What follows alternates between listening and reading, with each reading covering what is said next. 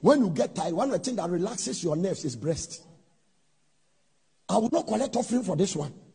No matter how you are stressful, just get breast and start sucking. You will cool down. Even if you don't have a condition, you will start cooling down. I have taught you one secret in life. Anytime you feel very stress and tension, just lie down, turn your neck like this, and start sucking breast. You will be, you will tame down. This is the reason why I keep preaching.